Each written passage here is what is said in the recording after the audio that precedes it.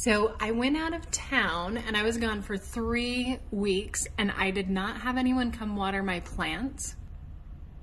So I left everything you see here for three weeks without water.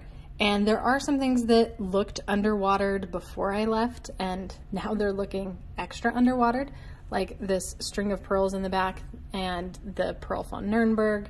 But this is actually the one that's the most interesting to me so this zebra plant has gotten really dark. It's almost black rather than green. And then these tiger jaws you can see are just super deflated. And I can't remember now what these are called, but it's a crassula. And you can see how those leaves are just really, really underwatered. But they're still alive. I'm gonna start watering them gradually and they'll perk back up and be healthy again soon.